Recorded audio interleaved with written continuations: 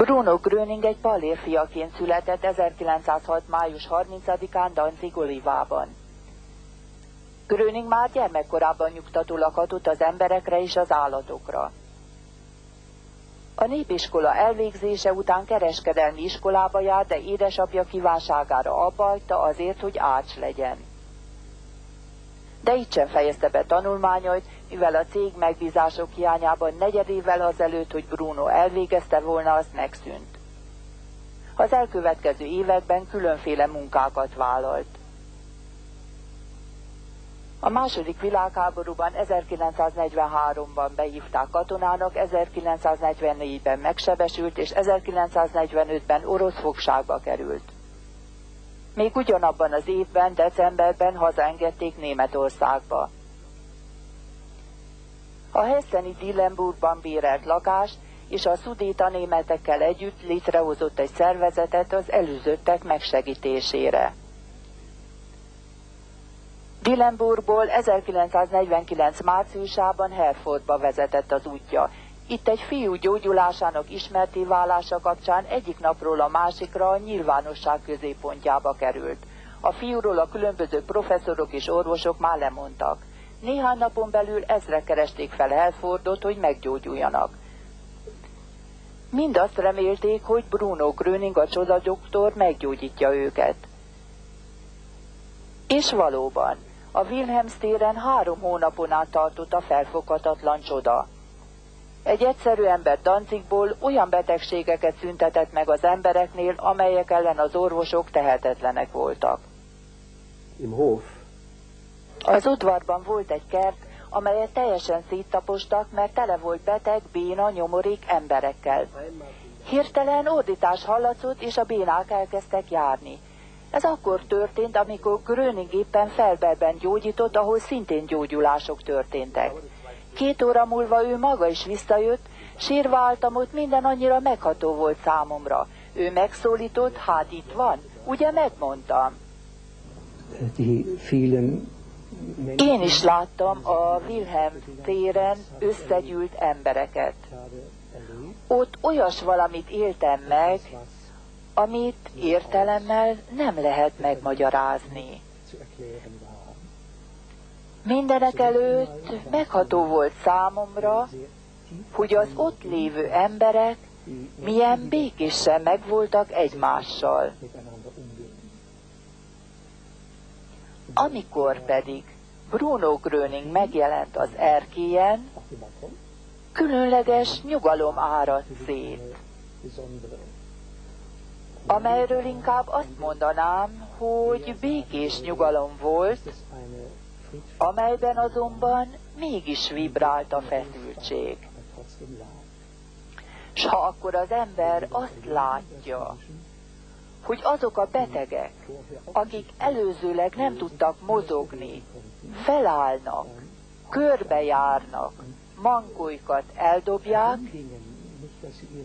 és ilyen eseteket kétségkívül akkor is megéltem, amikor Brunonál voltam, miszerint az ő jelenlétében olyan dolgok történtek, amelyek megmagyarázhatatlanok, de ugyanakkor megállapíthatók, és különböznek minden egyéb más kezelési módszertől. Az orvosok követelésére a hivatalos szervek közbeléptek, és Bruno Gröningnek megtiltották a gyógyítást, így el kellett hagyni a Herfordot. A Revű című folyóirat megbízásából a Marburgi orvos és pszichológus professzor H.G. Fischer 1949. júniusában ajánlatot tett Bruno Gröningnek, mely szerint Gröning gyógyító módszerét tudományos vizsgálatnak vetnék alá, ezzel szabad utat adva neki a gyógyításhoz. Bruno Gröning elfogadta az ajánlatot, és július végén Heidelbergbe érkezett, hogy az ottani egyetemi klinikán tudományos vizsgálatoknak vesse alá magát. Az eredmény meglepő volt a tudósok számára, mivel az orvosok kritikus szemei látára is csodálatos gyógyulások történtek. 1949. szeptemberében mindenki a Rosenheimi Traberhofról beszélt. Ezek is ezek jöttek ide, akik Bruno Gröningben látták az utolsó lehetőséget. Ebben az inséges időben ez óriási bizonyítéknak számított, de ugyanakkor megrendítő bizonyíték volt a tudomány tehetetlenségére nézve is, amelynek az lett volna a feladata, hogy úrrá legyen a nyomoron és a betegségen. A materialista gondolkodása szakadékba taszított minket. A Tráberhófi működés egy új korszak kezdetét jelentette, melynek során az ember visszatalált Istenhez és felismerte, hogy ő nélküle nem tud meglenni. Itt egy magasabb hatalomról van szó, mely az értelem számára felfoghatatlan. Bruno Gröning csak az erkélyen állt és beszélt az emberekhez. Szinte hihetetlen, ami történt. Bénák elkezdtek járni és eldobták mankóikat, vakok visszanyerték látásukat. És akkor hallottam, hogy egy asszony felkiált. Gröning úr, Gröning úr, köszönöm szépen, újra tudok járni. Majd felvette mankóját és a tömeg közé dobta. Állt mellettem egy férfi, aki mintha el akart volna menni, de akkor hirtelen egy kézre támaszkodva átugrott a karámon. A férfi körülbelül 50 év körüli lehetett, és mégis átugrott rajta. Akkor azt mondtam neki, hiszen ő nem is beteg, mit keres ön itt? A férfi nevetett, visszajött, kotorászott a pénztárcájában, és azt mondta, Nézze csak, az úgy volt, én vasárnap jöttem ide, akkor még százszázalékos háborús rokkant voltam, két mankóval, és meg is mutatta az igazolványát. Vasárnap óta pedig már tudok járni. Ha jól emlékszem, én pénteken voltam ott, és ez az ember négy-öt nappal később egy kézre támaszkodva körülbelül egy méter magas karámon ugrott át. Amikor a mintelepre megérkeztem és az autóból kiszálltam, azt gondoltam, ilyesmi nem is létezik. Miért? A mintelep előtt ezrek és ezrek várakoztak. Tolószékben bénák, gyerekek, akik sírtak, mert testük tele volt kiütéssel. Ez lelkileg nagyon megrendítő látvány volt. Lehet-e azt mondani, hogy a nyomorultak serege? Igen. Ezek az emberek ott szorongtak a nagy csarnok üvegablakai előtt. Én is bejutottam a nagy tömeggel, de csak lögdösődések árán. Elől egy emelvény volt, ahol már sokan várakoztak. Ki tolószékben, ki széken ülve. A legtöbbjük béna és vak volt. Én köztük ültem. Gröning úr sorokat alakítatott ki, ehhez voltak segítői. Gröning úr ugyanis közlekedni akart a sorok között a tömeges gyógyulás érdekében. Közvetlen előtte voltak az egyedi esetek. Saját szememmel láttam, hogy a bénák közül legalább hárman felálltak a tolószékből, és tettek néhány lépést. Ezt láttam. Körülbelül 30 ezer gyógyulni vágyó jött ide naponta.